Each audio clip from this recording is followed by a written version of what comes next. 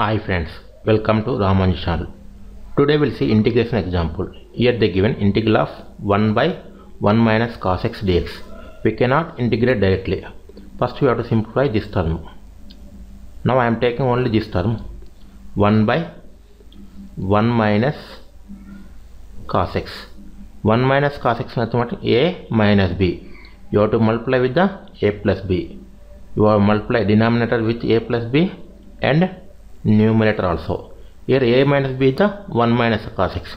a plus b is the 1 plus cos x. Here also we write the 1 plus cos x that equal to 1 into 1 plus cos x is the 1 plus cos x by a minus b into a plus b is the a square minus b square. a square is the 1 square, b square is the cos square x. You know 1 plus cos x by 1 minus cos square x is nothing but sin square x. Now you write the denominator separately that is the 1 by sin square x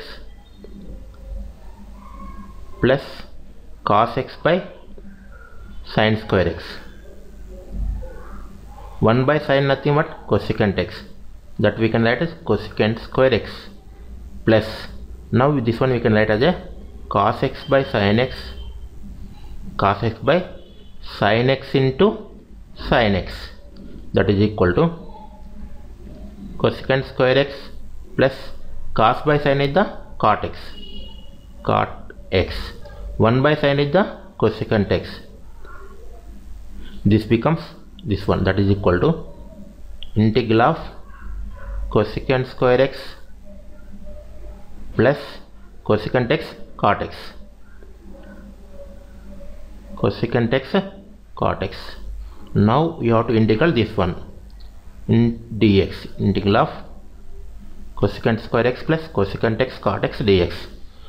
Now write the integral separately. That is integral of cosecant square x cosecant square x dx plus integral of cosecant x cot x dx what is the integral of cosecant square x nothing but minus cot x plus integral of cosecant cot x is the minus cosecant x this is the formula integral of cos cosecant, cosecant square x is the minus cot x integral of cosecant x cot x is the minus cosecant x plus c now that is equal to minus cot x plus into minus minus cosecant x plus c thank you for watching my video